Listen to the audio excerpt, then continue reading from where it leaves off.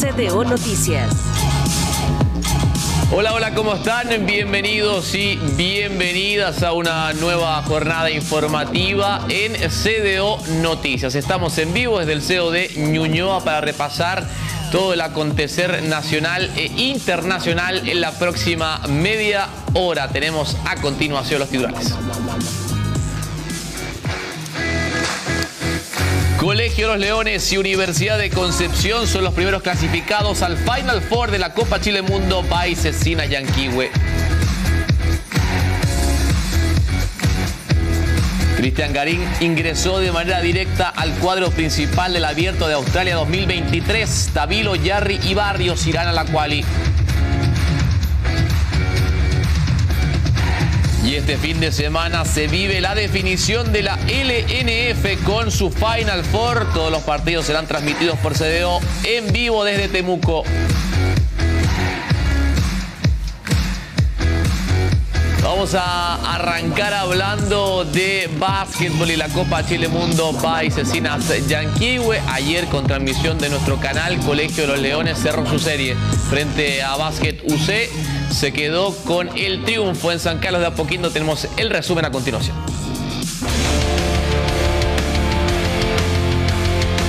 Colegio Los Leones rugió de visita y se quedó con el juego 2 y la serie ante Basket UC para clasificarse entre los cuatro mejores de la Copa Chile Mundo Baisesina Yanquiwe.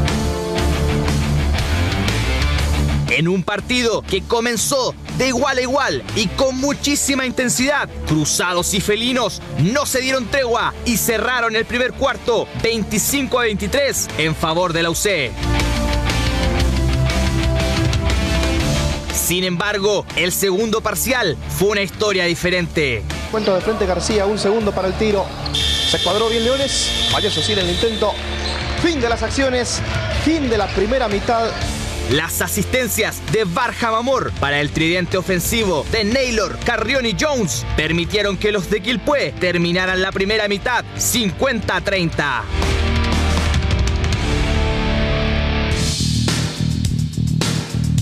Una diferencia abismal que Católica, por más que intentó, no pudo revertir en la segunda parte.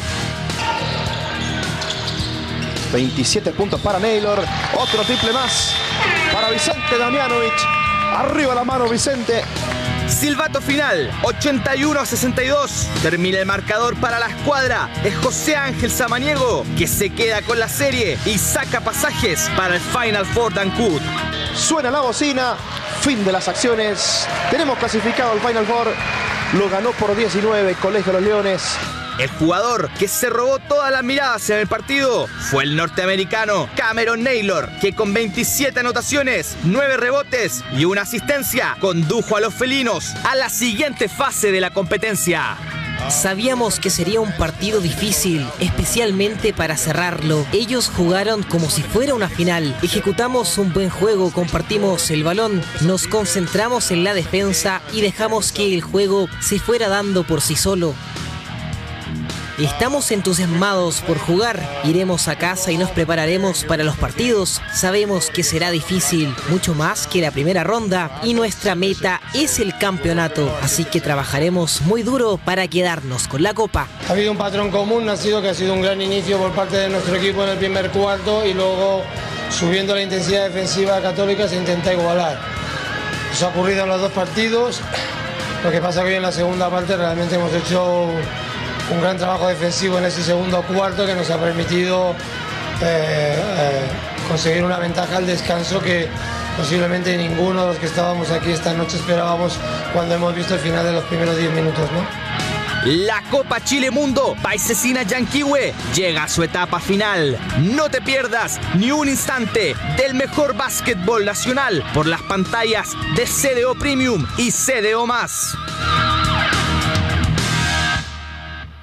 El primer clasificado entonces al Final Four de Ancud será Colegio de los Leones eh, de Quilpué. Lo marcaba también el entrenador, ¿no? Esta diferencia importante que sacó en la primera mitad, yéndose al descanso con 20 puntos de ventaja y que marca finalmente la pauta de este compromiso.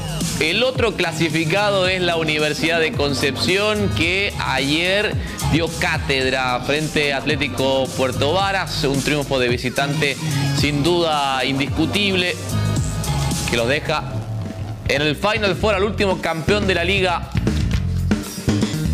El equipo de Cipriano Núñez que venció 85 a 68 en Puerto Varas al Atlético. El cuadro del Campanil venía de lograr una ajustada victoria de local ante los lacustres hace un par de días y con este triunfo estarán en el Final Four. La figura del enfrentamiento fue el norteamericano Rayshon Terry, reciente contratación del cuadro universitario y consiguió 14 puntos, 5 rebotes y una asistencia. Es el registro del estadounidense y que le da la posibilidad al conjunto del campanil estar nuevamente peleando por un título en nuestro baloncesto. Veremos qué ocurre el próximo fin de semana en Ancud. Se va a definir también este jueves a las 19 horas el partido entre Sportiva Italiana y Manquehue. Sportiva que gana 1 a 0 en esa serie. Y el sábado con transmisión de Canal CDO a las 20 horas.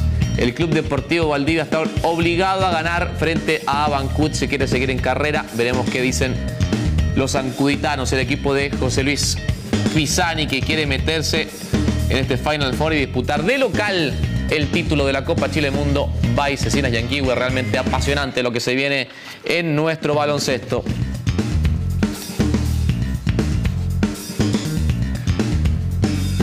Vamos a seguir en el básquetbol. El Telecom Bonn de Sebastián Herrera venció al Pinar de Turquía por 89-80 en la disputa del grupo B de la Champions League.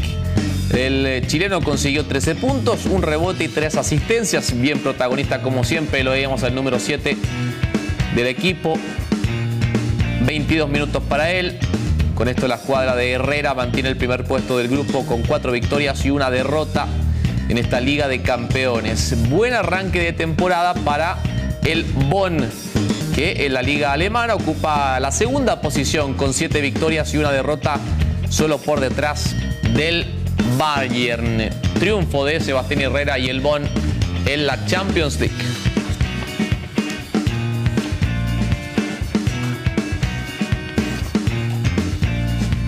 Nos metemos con el deporte blanco porque es oficial. Cristian Garín entra directamente al cuadro principal del Australian Open 2023, el primer Grand Slam de la temporada. El tanque figura en el puesto 85 del Orbe, por lo que no tendrá que disputar la quali del certamen, como así lo harán Alejandro Tavilo, Nicolás Yarri y Tomás Barrios, que no les alcanzó el ranking para decir presente en el main draw del torneo, aunque ambos contarán con la posibilidad de sumarse desde las clasificaciones. Está además Alejandro Tavilo a tres puestos de entrar como alternativa. Hay que ver si es que algún jugador se resta del campeonato, se va corriendo la lista y hay una posibilidad no tan lejana, digamos, de que pueda estar directamente en el cuadro principal del campeonato. Si no es así, si es que juega en la quali, Tendrán que disputar tres partidos, ganar tres partidos para meterse en eh, el primer Grand Slam de la temporada.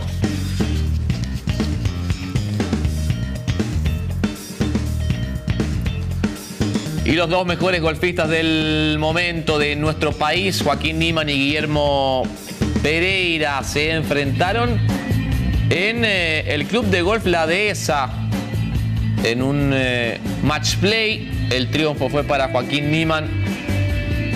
Luego de 18 hoyos disputados en una junta, un enfrentamiento que fue en beneficio del el Elite Junior Tour, buscando generar recursos para este evento y que permiten financiar parte de las actividades de la organización, la cual está destinada a generar más instancias de competencia para los niños del país, lo que les permite incrementar su nivel para enfrentar competencias internacionales representando a Chile. Recibió el club de golf La Dehesa cerca de 1.500 personas viendo a Joaquín Niman y Guillermo Pereira. Triunfo para Juaco en, este, en esta exhibición, no amistoso, match play frente a su gran amigo Guillermo Pereira.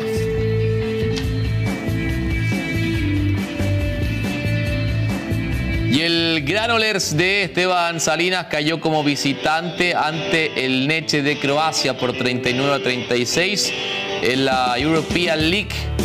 El chileno que viste la camiseta número 11 consiguió tres anotaciones en el partido. Con este resultado, la escuadra del chileno queda en el segundo puesto del grupo C de la competición con tres victorias y dos derrotas.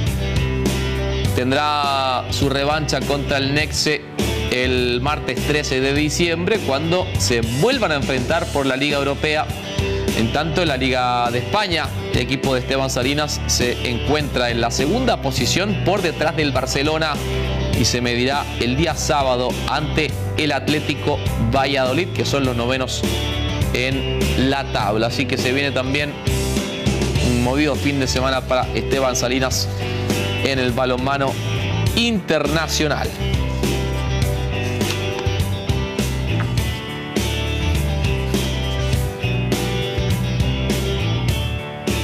Y vamos a hablar a continuación de rugby porque la selección nacional M19 está disputando el sudamericano de la categoría y hoy debuta frente a Argentina. De hecho, está en estos minutos ya en eh, cancha para jugar. Está ganando Argentina 7 a 0. Esto es completamente en vivo. Intercepción. Un eh, eh, sudamericano que se disputa en Paysandú, en Uruguay, en este triangular entre Chile, Argentina y el elenco charrúa. Chile con la pelota en el line y esta selección M19 que no pudo rescatarla y la recupera Argentina. 7 a 0 está ganando entonces el conjunto trasandino recién en casi 11 minutos de juego. Acaba de comenzar intenta salir de ahí. este campeonato para los Cóndores. Soler. Y este fin de semana se definirán los dos clubes que buscarán el título del Campeonato Femenino 2022. Universidad de Chile, Colo Colo, Fernández Vial y Santiago Morning son los semifinalistas y van a jugar este fin de semana las llaves de vuelta.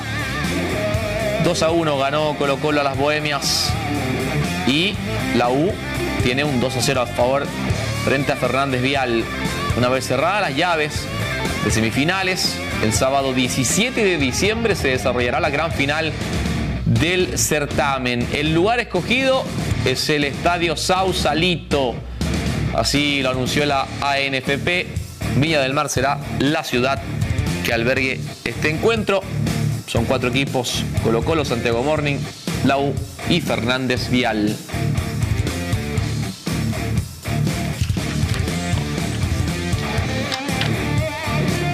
Y la selección chilena anunció el calendario que tendrá el equipo sub-17 para un cuadrangular internacional que se disputará en Paraguay este mes de diciembre. Con miras al sudamericano de la categoría que se jugará en 2023, el combinado nacional que dirige Hernán Caputo enfrentará a tres interesantes rivales para sumar rodaje de cara a la competición.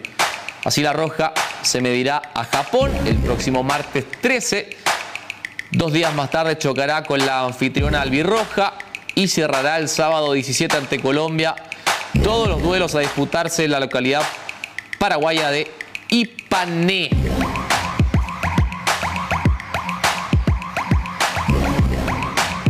Y no te olvides que al hacerte socio del Team Chile recibirás inmediatamente la polera oficial. Estarás obviamente aportando al desarrollo del deporte de alto rendimiento en nuestro país. Hazte socio del Team Chile y aporta al desarrollo de nuestros deportistas. Vamos a hacer un pequeño corte, ya se viene todo lo de la Liga Nacional Femenina de Básquetbol acá en Cedo Noticias.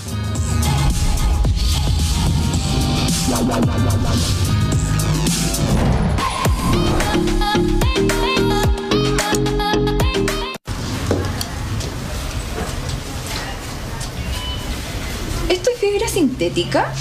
¿Dijiste fibra? Cámbiate a la internet fibra más rápida y estable de Chile. Mundo, tecnología al alcance de todos. Se define la Liga Nacional Femenina de Básquetbol. Esportiva Italiana, Escuela Alemana de Payaco, Gimnástico y Universidad de Chile protagonizan el Final Four. El viernes y sábado, desde las 17.30 horas y el domingo, a partir de las 15.30, conoceremos quién se queda con la corona. En vivo, desde el gimnasio de la UFRO en Temuco. No te lo pierdas, solo a través de CDO.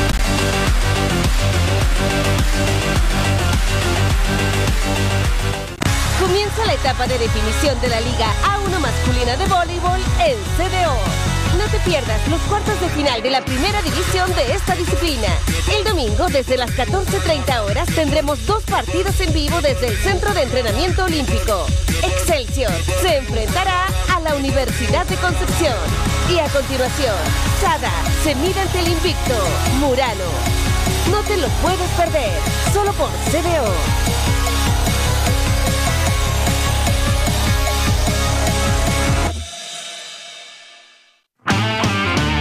Metrópolis está en canal CDO. De lunes a viernes en dos ediciones, Felipe Bianchi, Rodrigo Gómez y Cristian Peñailillo comentan sobre noticias, cultura, fútbol y todos los deportes. A las 13 horas, Metrópolis Central. Y a las 19 horas, Metrópolis Segundo Tiempo. Lunes a viernes, Metrópolis por CDO.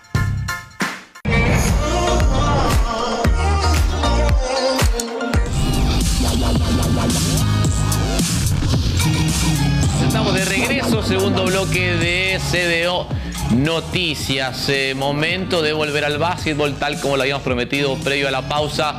Estaremos conversando acerca de la Liga Nacional Femenina porque ya se define este fin de semana, viernes, sábado y domingo los detalles los tiene nuestro compañero Diego Araujo. ¿Cómo estás, Diego? ¿Qué tal, Nacho? ¿Todo bien? Así es, se viene un fin de semana intenso en la ciudad de Temuco donde se estará definiendo vía Final Four a las nuevas campeonas del básquetbol femenino de nuestro país. Tenemos todos los detalles en la siguiente nota, la revisamos.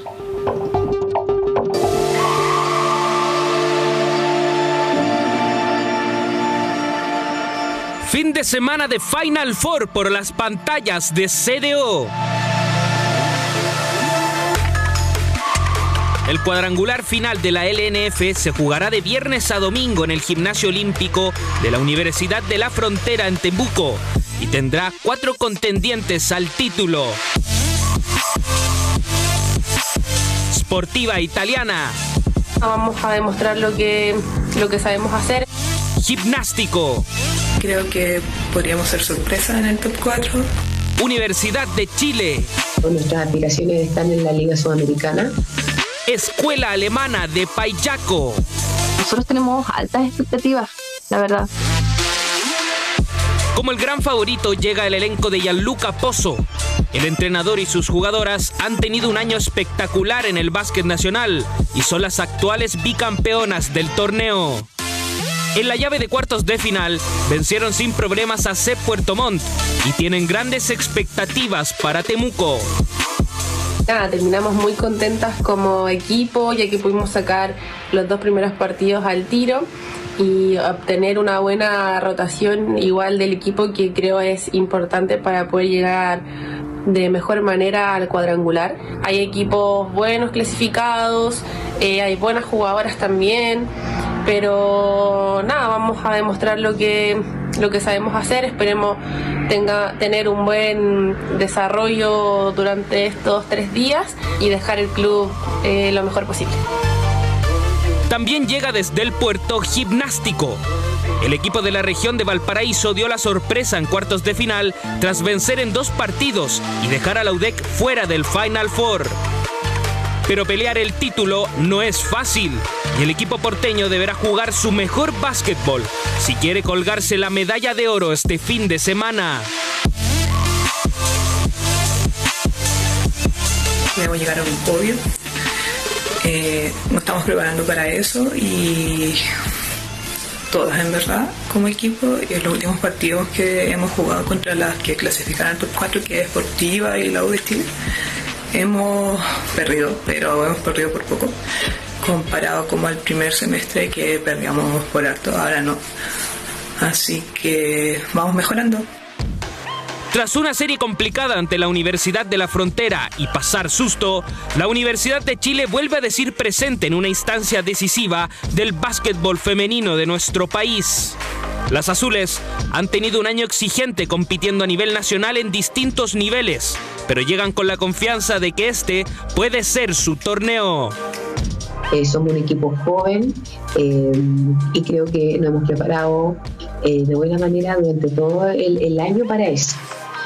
Sobre todo mis compañeras que han tenido una carga mucho mayor porque están jugando LDS, están jugando FENAUDE, han jugado 3x3, aparte están jugando liga, la verdad es poder plantear un buen, un partido desde inicio a fin, enfocándonos netamente eh, en cómo poder, ¿cierto?, salir favorecida tanto ofensivamente como defensivamente Representando al sur estará jugando la escuela alemana de Payaco.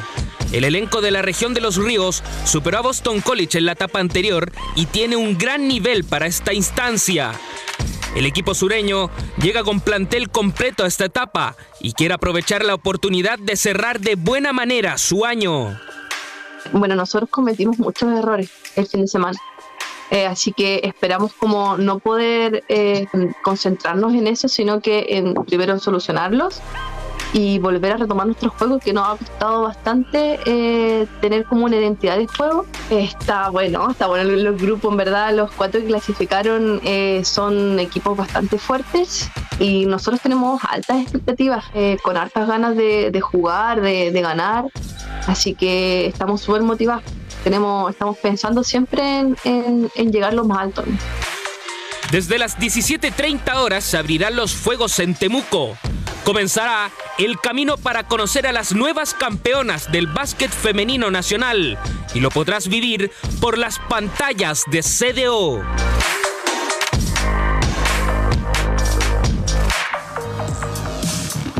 Tremendo evento el que se viene, Nacho, este fin de semana en el gimnasio olímpico de la Universidad de la Frontera, ya en Temuco. Claro, Esportiva llega como gran favorita, pero em, gimnástico en la Escuela Alemana de Payaco y Universidad de Chile, que me parece pueden hacer ahí la pelea.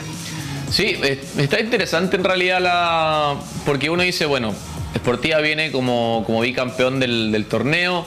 Eh, Gimnástico da una sorpresa, no se vio tan sólido a Escuela Alemana de Payaco en su cruce con Boston College. Eh, obviamente era un poquito más parejo también el de la UFRO con, eh, la Universidad de Chile. Eh, yo creo que sigue siendo favorito esportivo, además que no ha perdido durante este, este campeonato, o sea, tiene quizás también jugadoras desequilibrantes, hay que ver cómo puede controlar un poco también el juego de la pintura, que era algo que mencionaba también Tiare García en la entrevista que le hicimos en CDO Basketball, eh, porque Gimnástico tiene a Catarina Bulleres, eh, Tatiana Gómez está en, Payaco. Eh, son jugadoras que tienen mucha potencia física, tienen buen tiro, eh, manejan bien el tema de los rebotes, proteger el aro. ¿Cómo lo ves en, este caso? Sí, hay que ver cuál es el planteo que puede hacer Gianluca Pozo para llevarse el tricampeonato este fin de semana. Me parece que de todas formas Sportiva es el equipo que menos falencias tiene dentro de la cancha. Es un equipo que si tú quizás defiendes muy fuerte a Catalina Pérez o a Tira García van a aparecer otros jugadoras, es un equipo muy completo, todas anotan, todas defienden, eh, son pocas las falencias que puede encontrar en Sportiva, no así en los otros equipos, tú lo mencionabas, Escuela Alemana de Payaco que se le complicó ante Boston College, un partido, el primero lo ganaron por 30 puntos y luego se les complicó la serie y de local, hay que ver em, cómo lo hacen con Tatiana Gómez, tú bien lo señalas, em, gimnástico Payaco de hecho debería ser un, bonito partido por, por, ese, por ese enfrentamiento entre Cata Bulleres y, Tatiana eh, Gómez eh, y la Universidad de Chile, como lo mencionaba ahí también eh, Javier Anovión, ha tenido su plantel, como juegan también por la Casa de Estudios, un plantel que ha tenido también mucha carga ¿no? deportiva, hay que ver cómo se pueden recuperar, cómo llegan también a nivel físico para estos tres días seguidos de básquetbol, hay que ver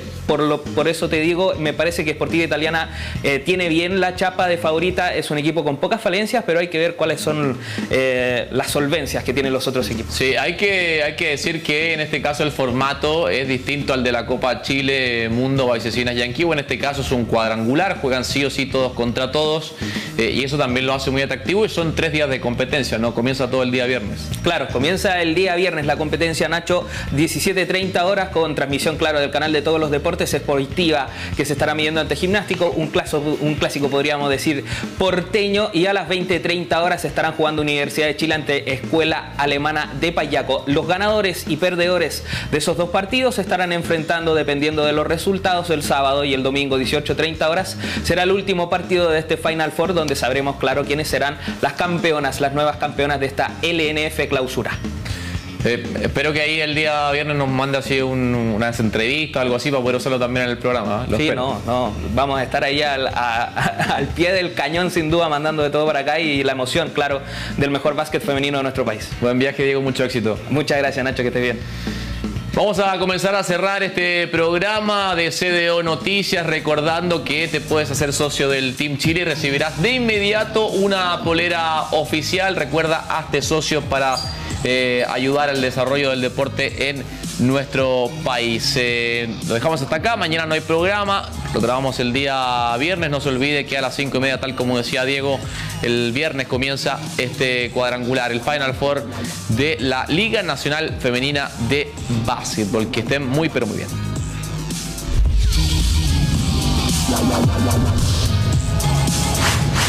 CDO Noticias.